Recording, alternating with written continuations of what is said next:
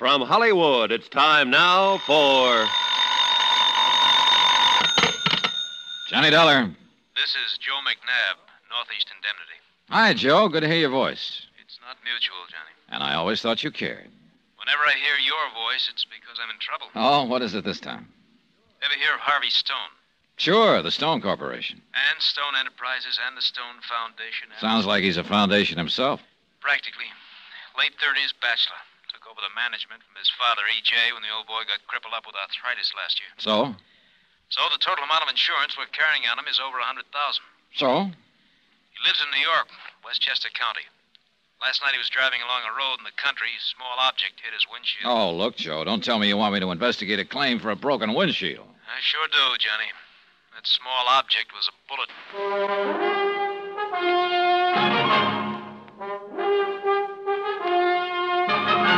Tonight and every weekday night, Bob Bailey in the transcribed adventures of the man with the action packed expense account, America's fabulous freelance insurance investigator. Yours truly, Johnny Dollar.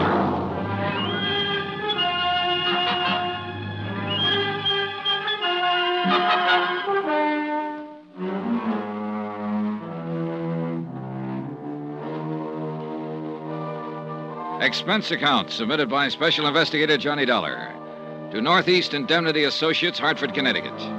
Following is an account of expenditures during my investigation of the imperfect alibi matter. Expense account item one, one dollar even, taxi to the office of Northeast Indemnity where Joe McNabb was waiting for me.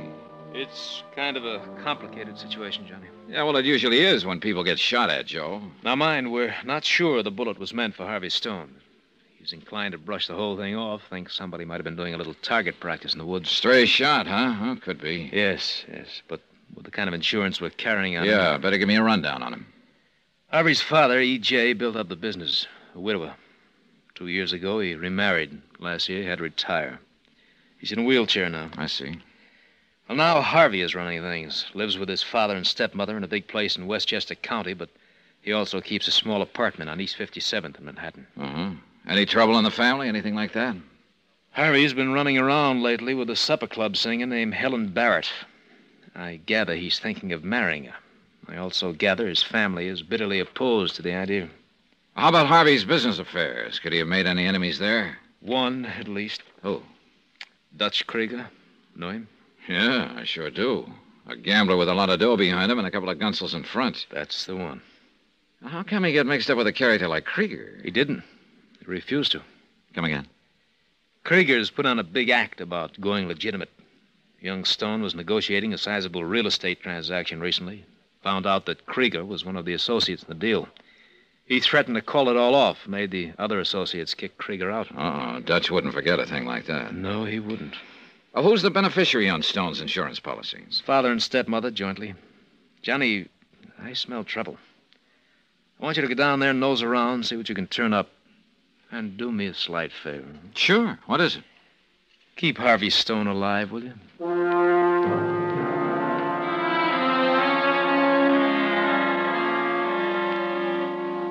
Expense account item two, $12.50, transportation and incidentals to the Stone estate in Westchester County.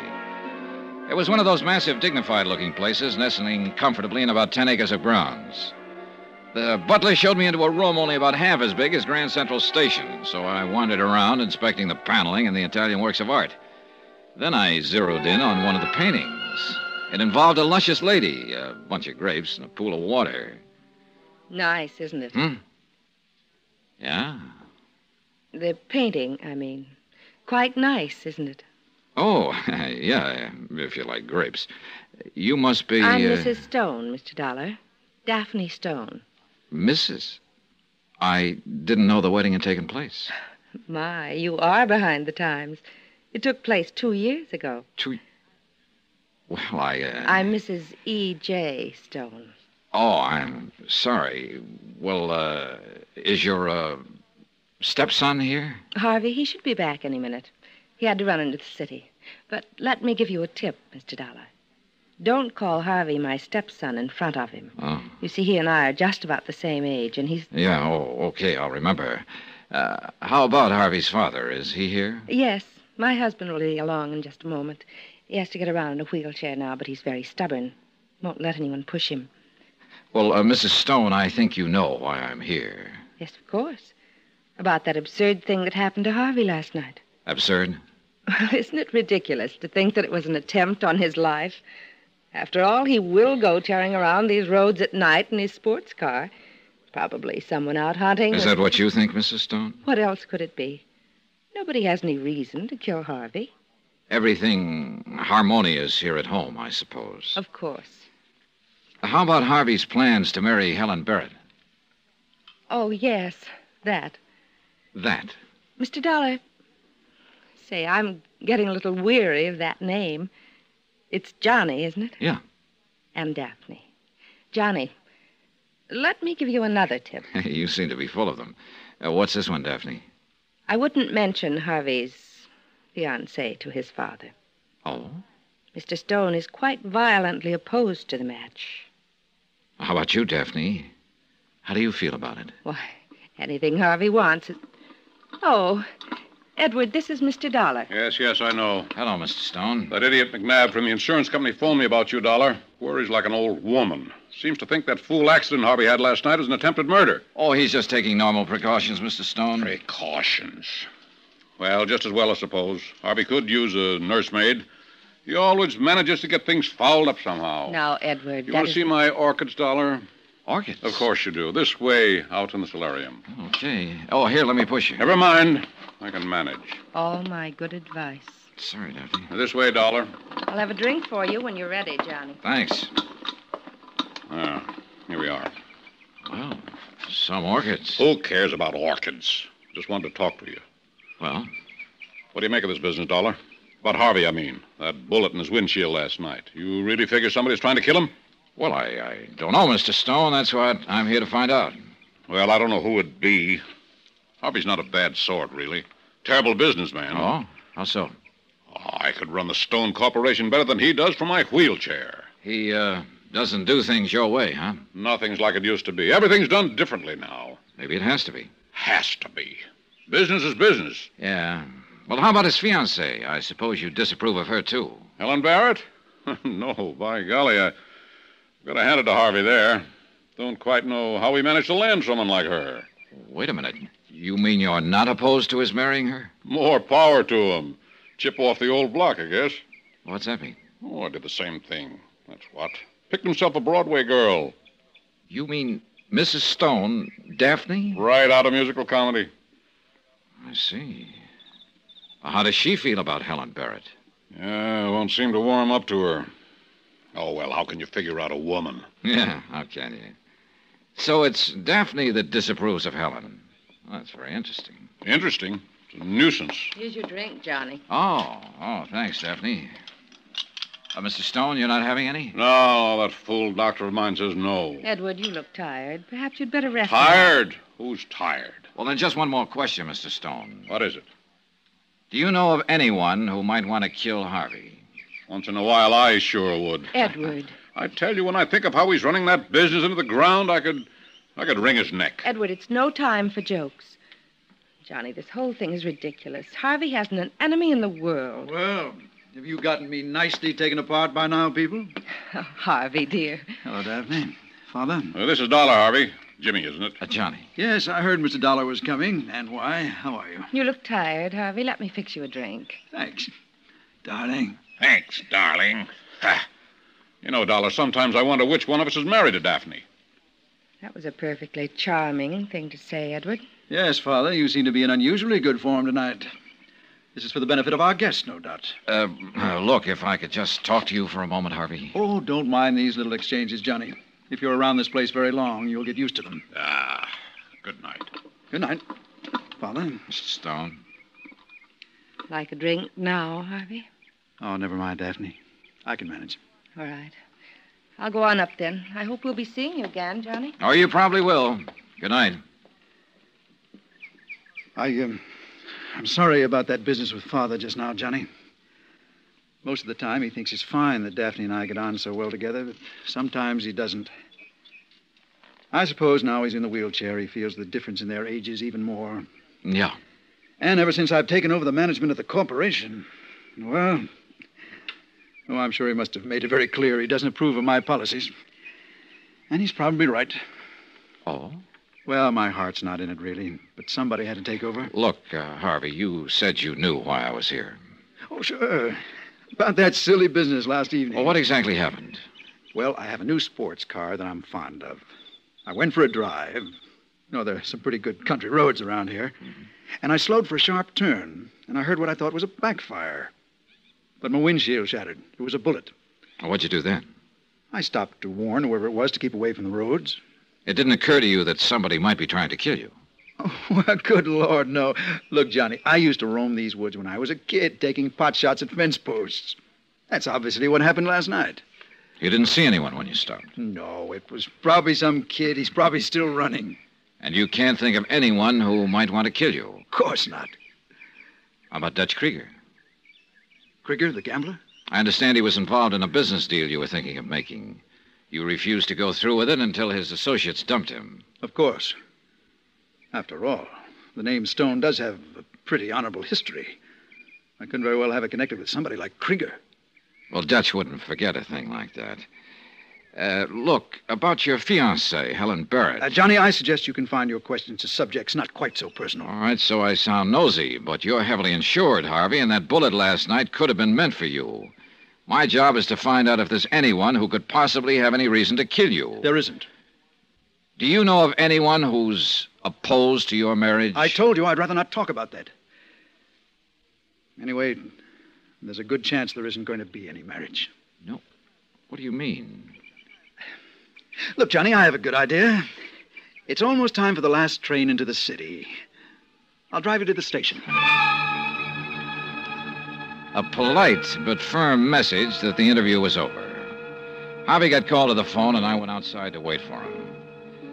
Daphne had lied when she told me Harvey's father opposed the marriage to nightclub singer Helen Barrett. It was Daphne who didn't like the idea. She and Harvey seemed pretty chummy, and the old man didn't seem to like that. Harvey had crossed a rough boy named Dutch Krieger in a business deal, and it's a cinch Dutch didn't like that. And now Harvey just told me there might not be a marriage, which indicated some kind of trouble there. All in all, it looked like a cozy little powder keg. Then, as I started for Harvey's car, the keg exploded right in my stomach in the form of a fist. I couldn't see who they were, but the two of them really knew their business. The way they worked me over. Hard enough to hurt, not hard enough to put me out. Finally, I guess they got bored. One of them did me a favor. He put me away.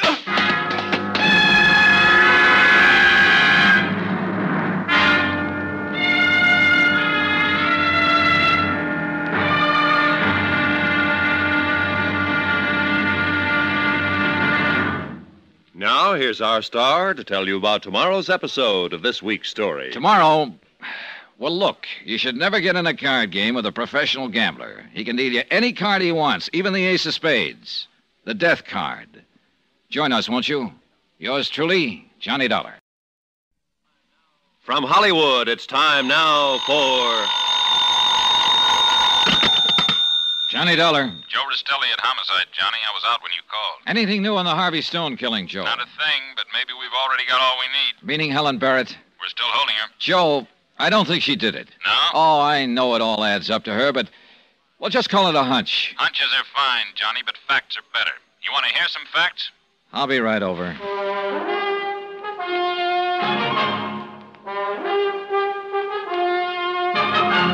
Tonight and every weekday night, Bob Bailey in the transcribed adventures of the man with the action packed expense account, America's fabulous freelance insurance investigator. Yours truly, Johnny Dollar.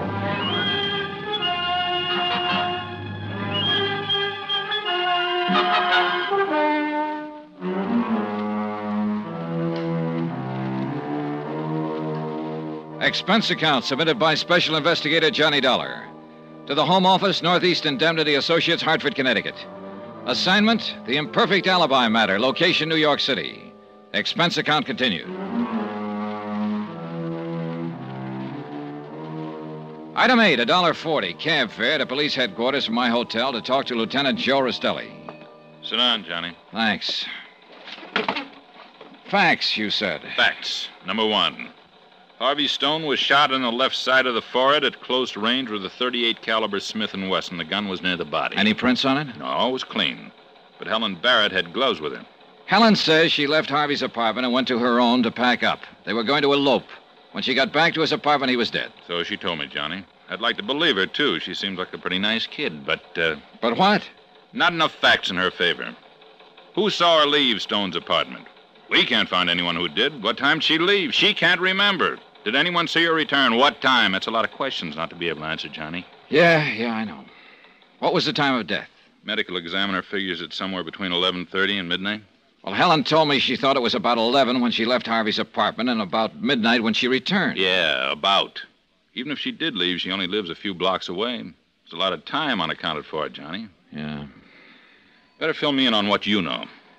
Well, as I get it, Harvey Stone took over the management of his father's corporation when old E.J. took to a wheelchair about a year ago. Yeah, yeah, I know. Two years ago, old E.J. married an ex chorus girl named Daphne. Yeah, yeah. Well, she's about Harvey's age. The two of them were apparently pretty friendly, and the old man was bothered by it occasionally. Incidentally, he and Daphne are joint beneficiaries on Harvey's insurance policy. A hundred and fifty thousand worth. Sounds like you're trying to tie the old man into the killing. Be quite a stretch, Johnny, from his wheelchair up in Westchester County to Harvey's apartment on East 57. I know, but right now I'm more interested in Daphne. Oh? I told you last night I thought Dutch Krieger was mixed up in this. I went to his office afterward and spotted a picture of Daphne Stone on his wall.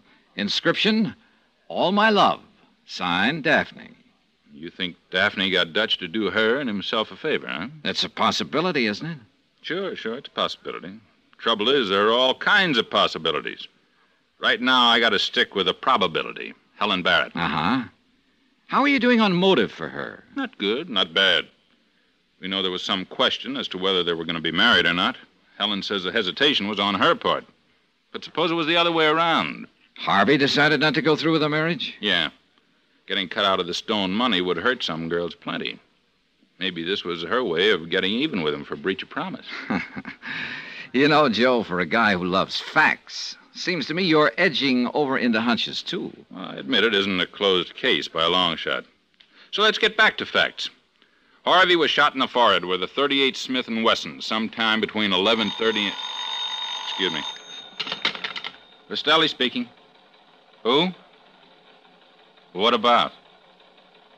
Oh, well, send him in. Somebody wants to see me about the killing. Oh? You Lieutenant Rastelli? That's right. You're handling the stone killing? Trying to. I want to talk to you about it. Sit down. Thank you. What's your name? Gentry? Alvin Gentry. So, what about the stone killing? I killed Harvey Stone. What? What? Let's have that again. I said, I killed Stone. I want to make a statement. Why did you kill him? He's making a play for my girl. I didn't like it. Your girl. You mean Helen Barrett? Who? Helen Barrett, Harvey Stone's fiancée. No, I don't know her. I mean my girl, Doris, a hat check girl at Barney's. Well, go on, go on. Well, Stone was on the make for her. Every time he came in Barney's, he'd make a play for her. I told him to lay off, and he wouldn't. He asked her to go away with him. I went to his apartment. I killed him. How'd you kill him? I shot him. Where? I told you, in his apartment. I mean, where did the bullet hit him? Oh, in the chest. What kind of gun did you use? 45 Colt. What'd you do with the gun? I threw it in the river. Okay, Gentry, get out. What? I said, get out. But I told you. yeah, you. you told me all right. Now I'm telling you, get out. Look, I don't understand. I'll tell you what you do. You just go on out of here and think it over. When you come back with a few facts straight. Facts? Yeah, like the caliber of the gun and where Stone was shot and the location of the gun. You get the facts straight, and I'll be glad to listen to you. Now get out. Okay. Confessing Sam number one. Yeah, there's always a string of them. That's one reason we don't usually release the caliber of the gun to the papers, to help weed out these confessing Sams. Wonder why they do it. A psychiatrist was explaining it to me once. Something to do with repressed feelings of guilt, I think he said. Next one will probably say he stabbed Harvey Stone with a letter opener. Yeah. Well, I'm going to run out and have a talk with Daphne. Stelly speaking. What? Now, look, Mike, you take the statement, huh? Thanks. Well, I was wrong about the letter opener, Johnny. Oh? We got a guy now who claims he used a razor on Harvey, slit his throat from ear to ear.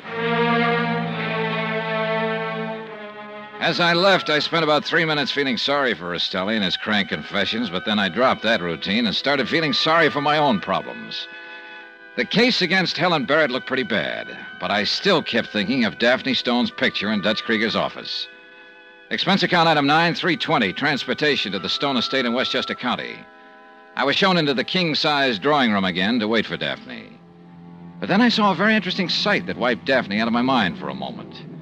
It was old E.J.'s wheelchair at the door to the solarium. And what was unusual about it was that it was empty. I edged toward the door. Then I got a glimpse of E.J. puttering around his orchids. He spotted me, though, and hobbled quickly to his wheelchair. With an abrupt wave, he wheeled into the hall and out of sight. A couple of minutes later, in came Daphne. Hello, Johnny. Daphne, Look, you said it was important that you talk to me, but I really don't feel much like talking after what's happened. I'm sure you understand. I think so. How's E.J. taking it? My husband is reacting as I suppose any father would who'd just lost his son. He's bewildered and hurt. You didn't tell me E.J. could navigate without his wheelchair. I saw him a minute ago inspecting his orchids. The wheelchair was parked near the door. I. I didn't think it was important, Johnny. It's true he can be out of his chair for short periods, but it's rather uncomfortable for him. Out of his chair for how long? Not long enough to get into New York and back, if that's what you're wondering. Thanks. You told me it was E.J. who was opposed to Harvey's plans to marry Helen Barrett, but I found out that you were the one who was fighting it. I suppose it was foolish of me to pretend otherwise.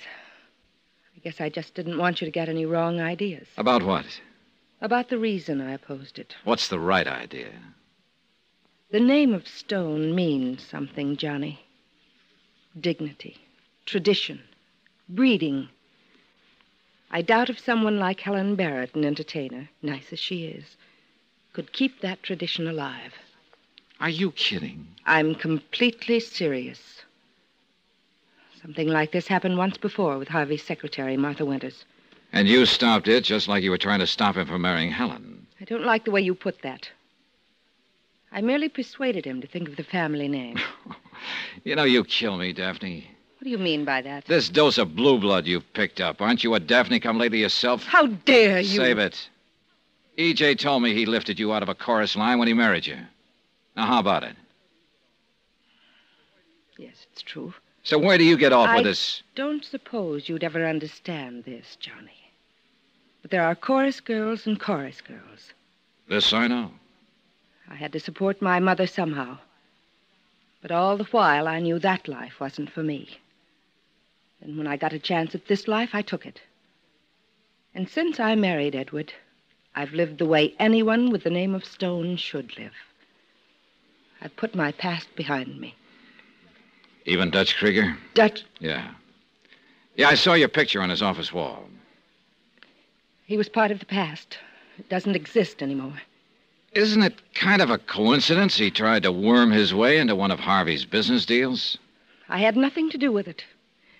And Harvey acted correctly in refusing to have anything to do with Dutch. I see. Then you opposed Harvey's marriage to Helen to protect the family name, huh? Just as I opposed the previous attachment to his secretary. Sure it wasn't because you didn't like the idea of competition? That's a. It's a pretty low thing to say under the circumstances. Well, just what are the circumstances? It's. It's very simple. I've lost someone who was very dear to me. Even though I was Harvey's stepmother, we were practically the same age. Sure.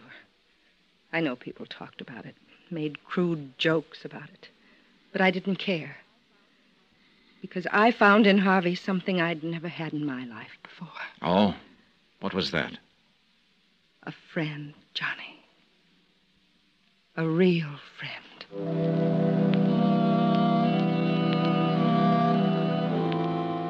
I went back into the city. If I could only find somebody to establish the time period Helen had been away from Harvey's place. I went over to her apartment house, figuring there's always one tenant who knows everybody else's business.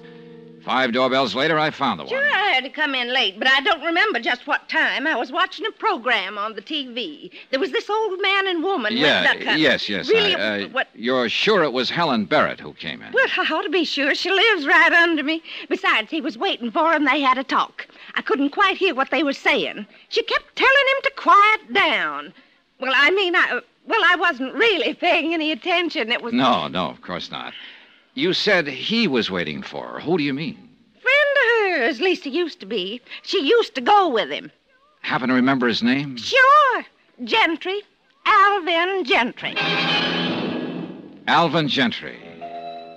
It was Alvin Gentry who'd made the fake confession in Rastelli's office. At the time, there'd been nothing to tie him into the case. But now, according to Mrs. Carson, he was a friend of Helen's. My hunch about her innocence took a nosedive. Yeah, that confession he tried to make could be his way of trying to protect her. And that would add up to just one thing Helen was guilty after all.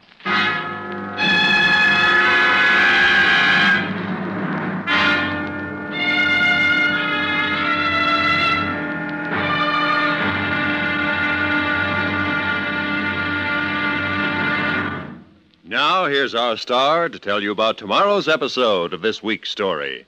Tomorrow, up pops an eyewitness and drives the final nail into the wrong coffin. Join us, won't you? Yours truly, Johnny Dollar. From Hollywood, it's time now for.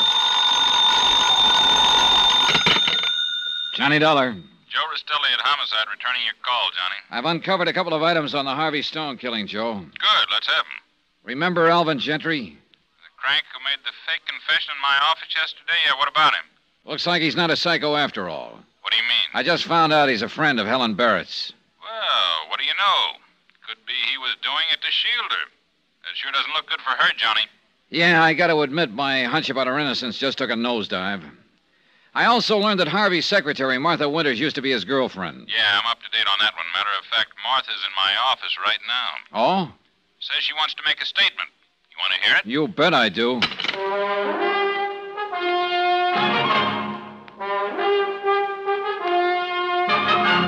Tonight and every weekday night, Bob Bailey in the transcribed adventures of the man with the action packed expense account, America's fabulous freelance insurance investigator. Yours truly, Johnny Dollar.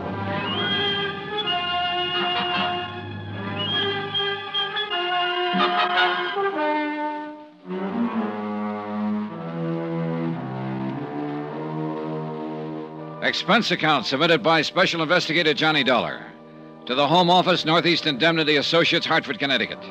Assignment The Imperfect Alibi Matter, location New York City. Expense account continued. Item 10, a dollar forty cab from my hotel to police headquarters. Martha Winters, secretary to the murdered man, Harvey Stone, was in Lieutenant Joe Rastelli's office. She was a blonde, and again I had to admire the dead man's taste. He could really pick them. Miss Winters, would you mind telling Mr. Dollar here what you've just told me? No, not at all, Lieutenant. You see, Mr. Dollar, I have a small apartment in the same building as Mr. Stone's apartment. On East 57. Yes. Uh, Harvey, as Mr. Stone, transacted most of the business at his apartment rather than the office when he was in town. That's mainly why he kept the apartment. And we felt it would be more convenient for me to be nearby. I see. Well, the night before last. The night of the murder. Yes. I'd been out to a show. I got home about 11:30. Go on. I saw Helen Barrett walking toward Mr. Stone's apartment. What? You sure about the time? Well, not right down to the second, of course, but I am positive it was within five minutes of 11:30. I see. Well, why did you wait until this morning to tell us this? Well, I Come on, let's have it, Miss Winters. well naturally no one likes to get mixed up in things like this. And I didn't want to make trouble for anybody. Helen Barrett always seemed like a, a nice person. But Mr. Stone was my employer and my friend. And after thinking it over, I, I could see what my duty was. You say Harvey Stone was your friend. Was he anything more than that? I don't think I know what you mean, Mr. Dollar. I think you do. I understand that at one time you and Harvey were planning to be married. That's true. But that's all in the past. Oh? Yes, we decided mutually that it was a mistake. We've been friends ever since, but nothing more than that. I see. Well, Heard enough, Johnny? yeah. Okay, Miss Winters, that'll be all. Thanks for coming in. We'll get in touch with you again if we need any further information. All right. Anytime, Lieutenant. Well, Johnny, according to Martha Winters' statement, Helen Barrett was in Harvey's apartment at the approximate time of the murder. We know it was somewhere between 11:30 and midnight. Helen said she left Harvey's apartment around 11 to go home and pack. They were going to elope. When he didn't come for her, she got worried. She went back to his apartment around midnight, found him dead. But that story won't hold water if Martha's telling the truth. Yeah. If. You don't sound convinced. Are you, Joe? Ah, I don't know, Johnny. I don't know. It's a pretty nauseating shortage of facts in this case. Nauseating's the word for it, all right. No, I mean literally. When I get one like this, my stomach starts acting up. Joe, what have we got in the way of facts? Well, number one, Harvey Stone was shot in the forehead with a 38 Smith & Wesson sometime between 11:30 and midnight. Yeah. And even that fact got twisted around yesterday by Alvin Gentry when he made what he called a confession. He said he shot Stone in the chest with a Colt 45 and threw the gun in the river. Yeah. You told me you'd found out he was a friend of Helen's. His confession doesn't look good for her, believe me. I know. But I can't seem to lose my hunch that she's innocent. Look, Johnny, I, I don't blame you for trying. It's your job. What do you mean? Harvey Stone was insured for a 150,000 bucks by the company you represent. Yeah, that's right. Okay, his father E.J. Stone and his young stepmother Daphne are the joint beneficiaries. Now, if one of them should turn out to be the murderer, your company wouldn't have to pay off. Wait a minute, Joe. Wait a minute. I think you know me well enough to figure I'd a lot rather see that company pay through the nose than convict an innocent person. Sure, but just about everything we've got points to Helen Barrett. Just about, but not quite. for instance. For instance, Harvey's father, E.J. Stone. He thought Harvey was running the business into the ground. He didn't like it. He also didn't like the fact that Harvey and his stepmother were pretty friendly. A man in a wheelchair is liable to resent a lot of things. Yeah, well, that's just the point. E.J. can get out of his wheelchair when he wants to. I saw him out of it yesterday. Huh? Sure. Then there's Daphne herself. She opposed the idea of Harvey marrying Helen. Said she wanted to protect the Stone name. But that sounds pretty fishy coming from somebody who used to be a chorus girl herself. Did you ask her about that picture of her you spotted in Dutch Krieger's office? Yeah. She said that was all in the past. But I wonder. Dutch got kicked out of a business deal by Harvey. He wouldn't forget that, and he's a tough cookie. And there still could be a connection between him and Daphne. Here we go again. Could be. Okay, okay. So I guess what it all adds up to is just that I kind of got myself sold on Helen. Sure, I've been sold on people, too. Sometimes it's ended up costing me. So now I just hold back and don't make up my mind one way or another. All right. It's turned out to be a pretty good idea, too. Why don't you try it, Johnny? Expense account item 11, a double martini for me. Well, I thought over what Joe Rastelli had said. Sure, it was good advice not to get too sold on people, but it didn't help me much at the moment. I still couldn't believe Helen Barrett had killed Harvey Stone. But I had to admit that if she wasn't the killer, it left a lot of things unexplained. For one thing, Alvin Gentry's fake confession. It sure looked like he was trying to shield her. I checked and learned that he managed a supper club where Helen used to sing. I decided to have a talk with him. I found him at a corner table. Yeah? I'm Johnny Dollar. Gentry, we, uh, we met in Lieutenant Rastelli's office. Yeah. I'd like to talk to you What about? about the Harvey Stone killing. There's nothing to talk about. I don't agree. I think there is. I made my confession. You guys didn't believe me. Well, now, that's because you got a few of the things wrong, Gentry. What interests me now is not your confession, but the reason you made it. What do you mean? Well, you said Harvey Stone had been making a play for your girl, a hat check girl, wasn't it? You, you said that's why you killed him. So? So, you said you didn't know Helen Barrett. I don't. But you're lying. Look, Dollar. We found out you're a friend of Helen's. You used to go with her, and you were waiting in her apartment the night of the murder when she left Harvey's and came home to pack. Well, how about it, Gentry? Okay, so I do know Helen, but she didn't kill Stone. How do you know? She couldn't have. She's not that kind. Oh, sure. You were waiting at her apartment that night. Why? I wanted to see her. What about? She used to sing here. She drew good crowds. I wanted her back. What kind of a mood was she in when she got to her apartment? What do you mean? Well, did she talk about Harvey Stone any? Did did she seem mad or upset? I don't remember. Cut it out, Gentry. I want straight answers. Well, I guess they had a little argument. What about? I don't know. Anyway, it doesn't matter. Helen didn't kill Stone. She was. She was with me. You mean for a few minutes at her apartment? I mean longer than a few minutes. She was with me at the time of the killing. Now, look, Gentry. I know you're trying to help Helen, but believe me, this isn't helping her. First, you make a phony confession, and now all of a sudden you're giving her an alibi. Uh, sure, it was stupid of me to make that confession. You can say that again. But I realized later it wasn't necessary. I realized that Helen had been with me at the time of the killing. You're going to stick to that story? Sure I am. Under oath? Under oath. Perjury's a pretty serious thing, Gentry. Perjury's pretty hard to prove, Dollar. One thing seemed pretty clear. Alvin Gentry was apparently convinced that Helen had killed Harvey Stone. He was doing everything he could think of, even perjuring himself to shield her. And the more he scrambled, the worse it began to look for her. Then, too, there was the statement of Martha Winters, Harvey's secretary, that she'd seen Helen returning to his apartment at 11:30.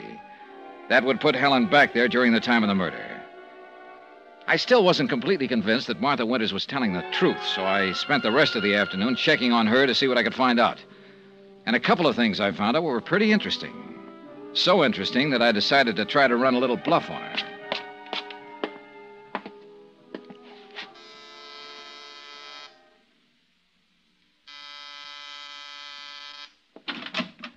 Oh, Mr. Dollar. Hello, Martha. I'd like to talk to you. Well, I, I was just on my way out. Well, this won't take long. All right. Please come in. Thanks. Well? It's about that statement you made to Lieutenant Rastelli this morning. Oh? Well, I really haven't anything more to add to it, Mr. Dollar. Look, I'm sorry, but I have an engagement. Yeah. You told us this morning that you and Harvey Stone used to go together. But you called it off and were just uh, friends after that. Yes, that's right. Now, look, Mr. Dollar. But I... that isn't the story I picked up at the office of the Stone Corporation a while ago, Martha. The office. Now, what right have you to go snooping around that Sorry, office? Sorry, Martha, but snooping's my business. And you know, you pick up a lot of interesting information that way. Well, if you're going to listen to office For instance, gossip. I found out it was Harvey who called off the deal with you. No. And you've been carrying a torch for him ever since. There've been a couple of nasty scenes about That's it. a lie. Matter of fact, once or twice he'd almost made up his mind to can you, but each time he decided not Lies, lies, all of it. Okay. Okay. We'll let that go for a minute. Now, about your statement this morning. Mr. Dollar, I haven't time to stand here and repeat what I've already said. That's where you're wrong, Martha. You've got time to hear this. You'll take time. Now, what is it?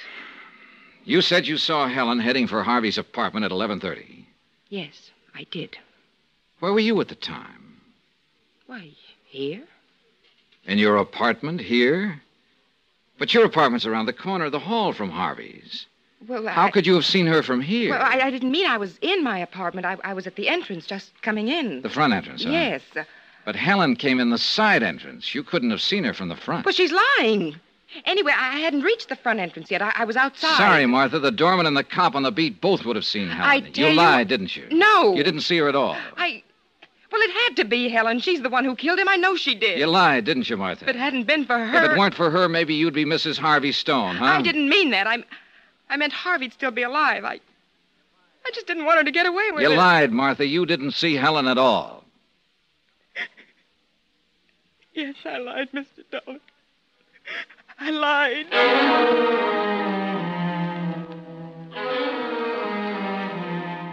Yeah. My bluff about the doorman, the cop on the beat, and Helen coming in the side entrance had paid off. Looking at Martha, I didn't exactly feel like giving three cheers about it. But one thing was clear, though. The Harvey Stone murder case had just busted wide open again.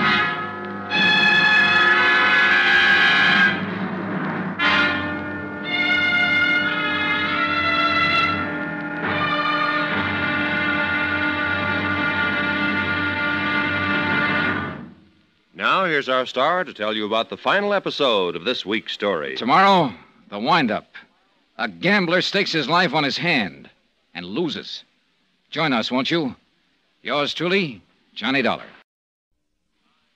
From Hollywood, it's time now for. Johnny Dollar. Joe Rastelli at Homicide, Johnny. Glad you called, Joe. Got something new for you on the Harvey Stone murder case. Yeah, well, let's have it. Yesterday, Harvey's secretary, Martha Winters, told us she'd seen Helen Barrett approaching his apartment at just about the time he was murdered. Yeah? She just admitted to me that she lied.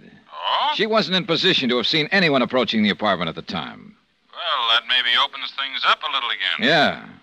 I've got an item along that line, too, Johnny. What is it? Harvey's young stepmother, Daphne, up in Westchester County. Oh, what about her? I just found out she was here in the city the night of Harvey's murder. What? Yeah.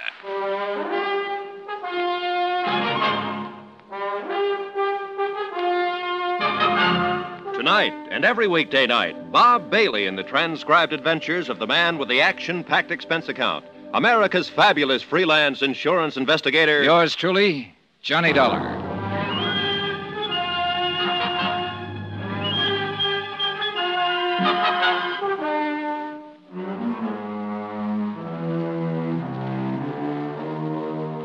Expense account submitted by Special Investigator Johnny Dollar to the Home Office, Northeast Indemnity Associates, Hartford, Connecticut. Assignment The Imperfect Alibi Matter, location New York City. Expense account concluded. Item 13320, transportation to the Stone estate in Westchester County to question Harvey's young stepmother, Daphne Stone.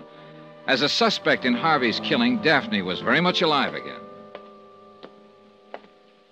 Sit down, Johnny. Thanks. Nice out here. Mm-hmm. Drink. No thanks. How's the investigation going? Well, that's what I came to talk about, Daphne. It uh, hasn't been going too well. Oh? I was under the impression that an arrest had been made. Helen Barrett's being held. Well, then. Helen Barrett could be the killer. A lot of things point in her direction. But there are a few that don't. What do you mean? Right from the start, you've been giving me incomplete answers or false answers. First, you told me it was Harvey's father, E.J., who opposed his plans to marry Helen. Then I found out you were the one who was fighting it. Look, I explained all that. It was because I didn't want you to get the wrong idea. Oh, about- yeah, yeah, so you said. You told me you opposed it because you didn't think the Stone name should go to a supper club singer like Helen. Yes. But you yourself used to be a chorus girl. I explained that to you, too, Johnny. Okay, so you oppose the marriage for the dignity of the family and not just to keep Harvey at home with you. That's a vicious thing to say. I told you Harvey and I, being about the same age, were very good friends, true friends. Is that what your husband thought? You forget Harvey's father is confined to a wheelchair. Understandably, he might occasionally resent those who can be more active. That's another thing you didn't tell me, Daphne, that E.J. could get out of his wheelchair on occasion. I caught a glimpse of him out of it the last time I was here. Short periods only, and with considerable discomfort. So you and Harvey were friends. Like you and that gambler, Dutch Krieger, huh? Johnny, my patience is running out. I explained that Dutch was in the past. Completely in the past. Before my marriage. But Dutch got kicked out of a business deal by Harvey. And he wouldn't like a thing like that. Harvey acted perfectly properly. Really, Johnny. All right, just one more thing, Well, Daphne. what is it? One thing more you didn't tell me. That you were in the city the night Harvey was murdered there. Well, I should have told you that, Johnny. I went into the city that evening because I knew Harvey was to have a meeting with Helen later that night. I wanted to talk to Harvey first. what about? I knew he was planning some definite action about her. So you wanted to talk him out of marrying her. If you want to put it like that, yes. What time was that? I saw him in his apartment about nine. I left before ten. Can anybody verify those times? I don't know. I see. What was the outcome of your talk with Harvey? He assured me he'd break off with Helen. You sure about that? Completely sure. I decided to stay at a hotel that night instead of coming back home. I suppose that's how the police knew I was in the city. It's Helen's story that when she saw Harvey later, they decided to elope. If I believed that. But I don't. I think she's lying. And how about you, Daphne? Have you given me the whole truth now? Yes, Johnny. The whole truth. Everything I've done has been done solely to protect the family name. Everything. Right then, I'd have given a lot to know just what that everything involved. Whether or not it also included some weird idea of killing Harvey to somehow protect the family name. Expense account item 14, 320, transportation back to the city. I got permission from Joe Rastelli to talk to Helen Barron. When they brought her into the interrogation room, she looked pale and tired. Hello, Johnny. Helen, several things I want to ask you about. Sit down. Sure. What? Martha Winters, for one. Harvey's secretary? What about her? Well, she made a statement that she'd seen you heading for Harvey's apartment around 11:30. That had put you inside there during the time of the murder. No. No, I'm sure it was later than that. Almost 12 when I got back there. Martha later admitted that she lied. But the question is, why? Still carrying the torch for Harvey? Yes, I guess she was. Next item's about Alvin Gentry. Lieutenant Rastelli told me about that confession Alvin made. He got all the details wrong. Caliber of the gun. Poor Alvin. What do you mean? Well, he'd always made it clear how he felt about me. But I didn't think he'd go that far. Well, how do you feel about him? I've always liked him very much. Used to go with him some. But I stopped when I started seeing Harvey. Did you talk to Alvin Long at your apartment that night? No, just a few minutes while I was packing. You know, you just talked yourself out of an alibi. What do you mean? Well, after Gentry's confession didn't sell, he was willing to swear you were with him during the entire period the murder could have taken place. Johnny, why does an innocent person need an alibi? It helps in court. Believe me.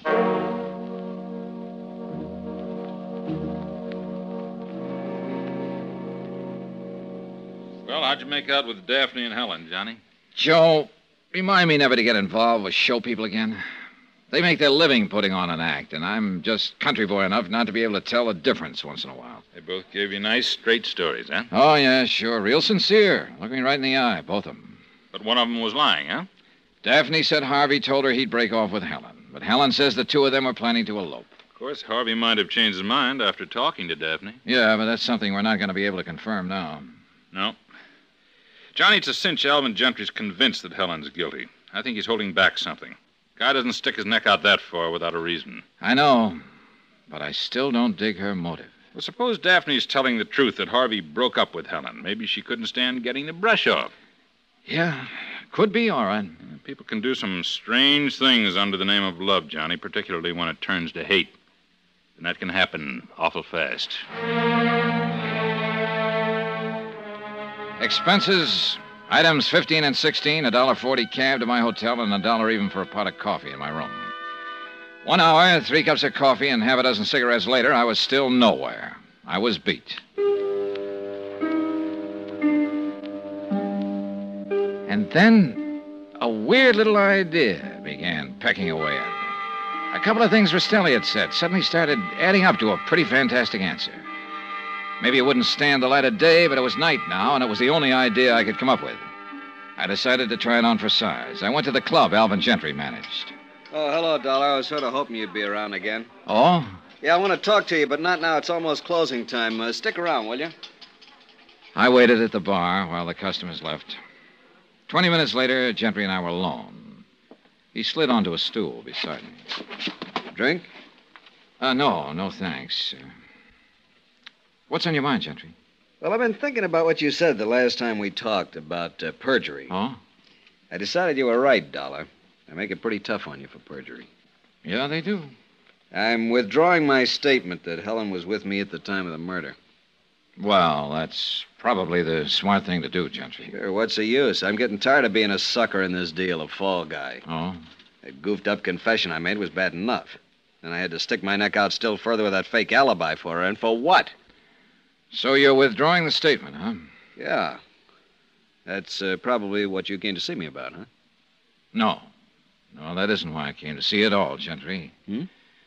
And I wouldn't exactly call you a sucker. I think you're one of the smartest guys I've ever seen, in a Sort of weird and twisted kind of way. What are you talking about? You played this whole deal real cagey right from the start. Everything you did was supposed to look like a cover for Helen. But instead of that, you were really trying to put a noose around her neck. You're out of your mind, Dollar. And that confession you made, Gentry, that's why I came to see you. To tell you it wasn't goofed up at all. You did kill Harvey Stone.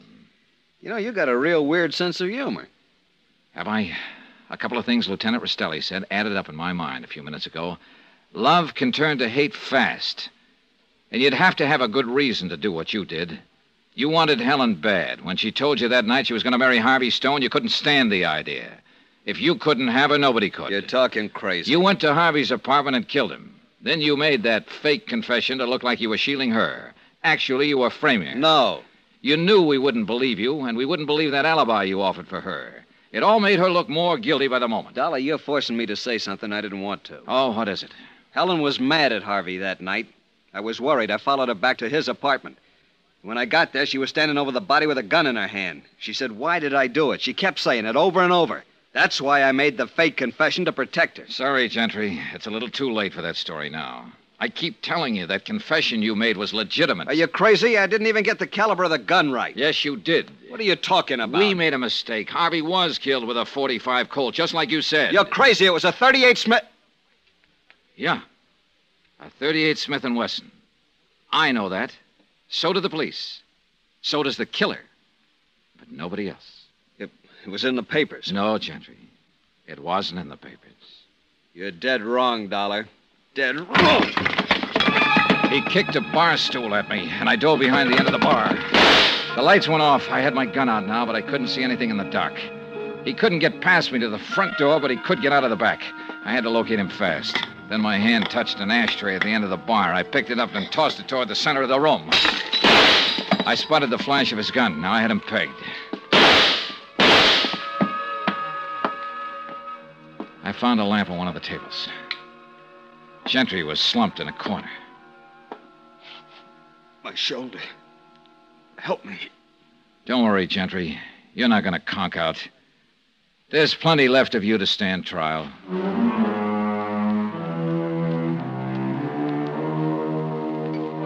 Final item on expense account $12.80. Transportation and incidentals back home. Total expenses $192.40. Rastelli arrived in response to my call and had Gentry carted away. Helen Barrett was released from custody. Remarks? Here I thought Dutch Krieger was the gambler in the case.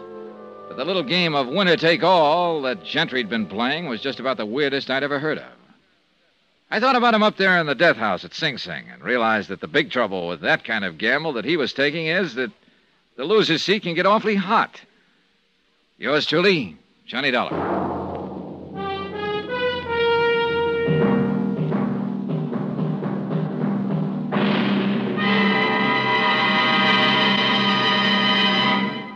Now, here's our star to tell you about next week's story. Next week, one of the biggest, toughest, loudest characters I've ever met. A real two fisted terror. And her name is Meg McCarthy. Join us, won't you? Yours truly, Johnny Dollar.